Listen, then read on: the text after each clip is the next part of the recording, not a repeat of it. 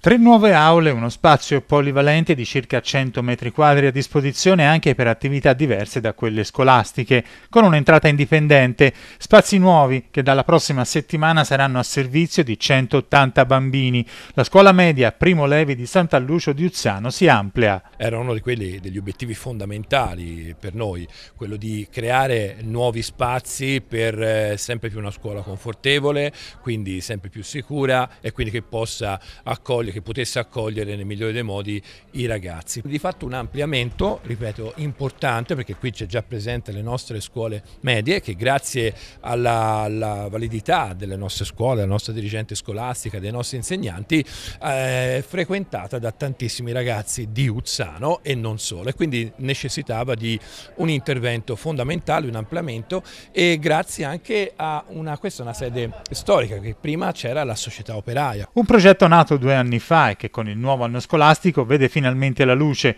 un investimento di 500.000 euro, contributo interamente arrivato dalla Regione Toscana. Stamani è emozionante essere qua perché è stata la prima cosa che ho fatto da consigliere regionale, quella di lavorare affinché il Consiglio regionale con una legge apposita finanziasse per 500.000 euro la realizzazione di questo ampliamento così importante. La scuola è centrale, ma oltre a dirlo bisogna investirci.